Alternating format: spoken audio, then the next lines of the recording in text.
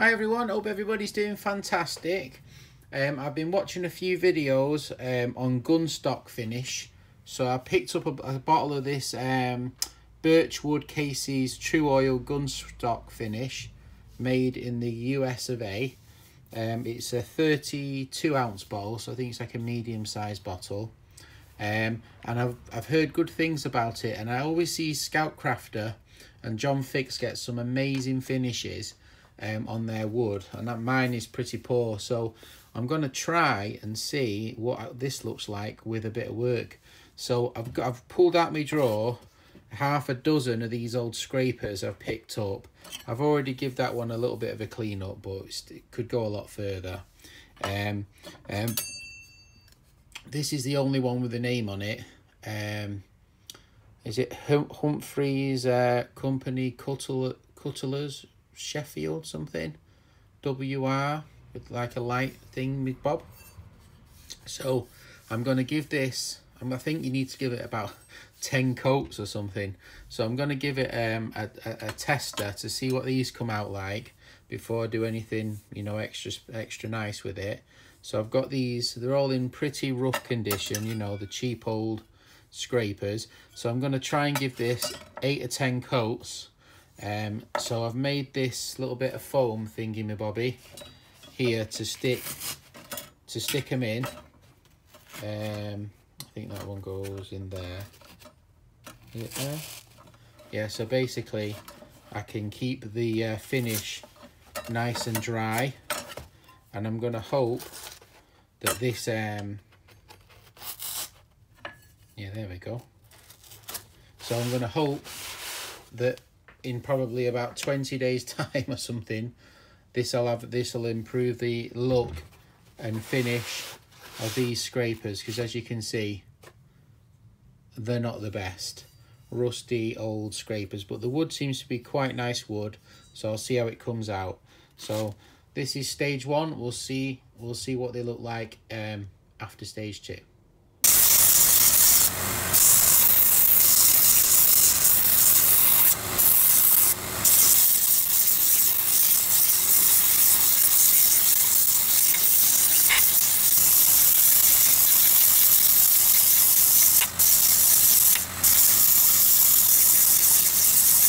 Right guys, we're back. Um, I've give them a little bit of a sand.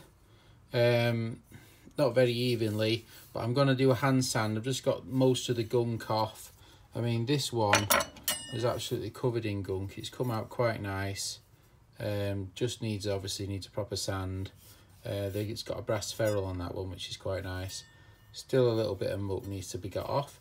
But yeah, um, give them a, a rough sand with the uh, sander and then a, belt sanded the um, handles just to just to get I got this one extra which on the flea market so I chucked it in with the rest. So I'm going to give these um, hand sand um, and get these a little bit finer and then I'm going to start applying the coats of the Tru-Oil.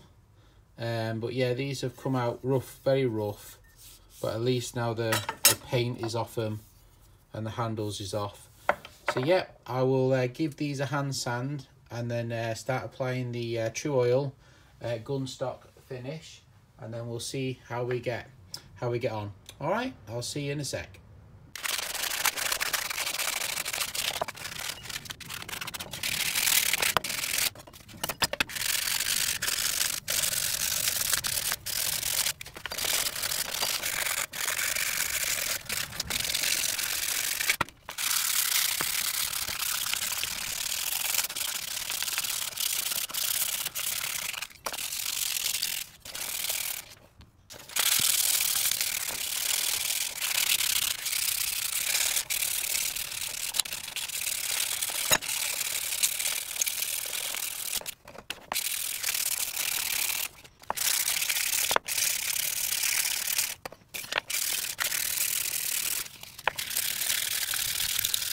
Guys i'm gonna give it a go with this uh casey's gun gun uh, oil finish.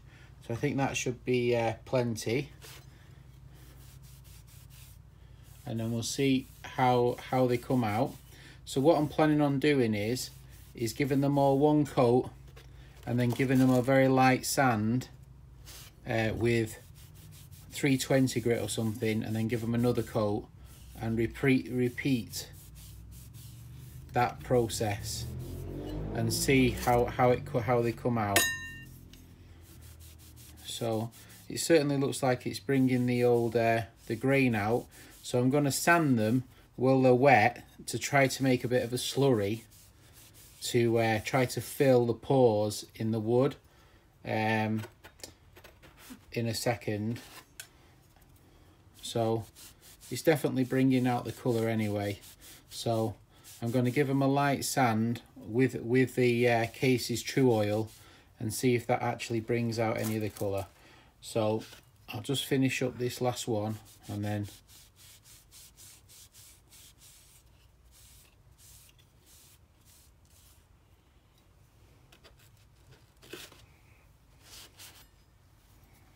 the last two.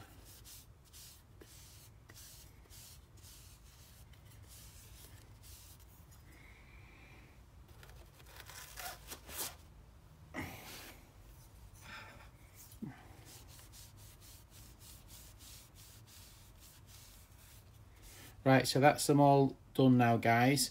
So they're all ready to be lightly sanded and then I'll give them another coat. So I'll see you in a sec.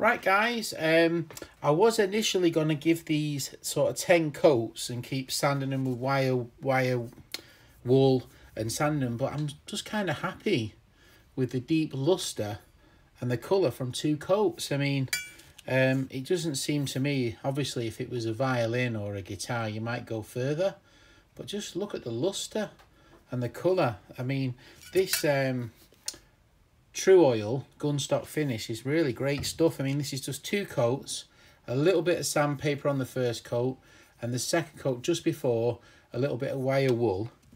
And look at it. It's just absolutely beautiful. Absolutely stunning. So, super happy with it. Um, I don't know if the light is actually picking up the actual wood and the colour and the finish. But, I, you know, I didn't take any special precautions. So imagine if you, um, you know, applied it properly and um, give it more coats, you'd even improve the finish what it's already got. But it's silky smooth. Um, it's brought the wood out tremendously.